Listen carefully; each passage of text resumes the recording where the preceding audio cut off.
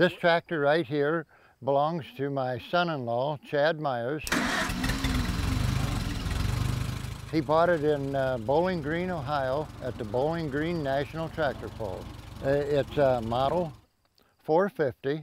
It's a four-wheeler that has a Continental 162-inch cubic inch engine, and they're just fairly nice tractors. It's a West Virginia tractor. It was made after uh, the, the Silver Kings were made in Plymouth, Ohio, and then they sold it to uh, a company in West Virginia and uh, made a few over there before they went out of existence. Uh, the serial number on this one is 50,011, so it was one of the early ones made in Virginia because of the, the 11. This would have basically been built as a farm tractor. In the factory photos, these here Silver King emblems, we see them in all various places. Some are above this line, some are below the line, and half of them are straddling this line.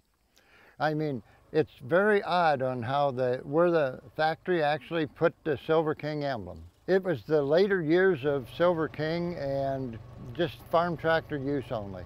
Up to the Bowling Green tractor pulls, it gets very hot the third week of August and he has an umbrella on it. I like it because it's odd and, and rare because it, there wasn't very many built out of state. And it's a smooth running tractor and it's just in fairly good shape. This one's not geared real high.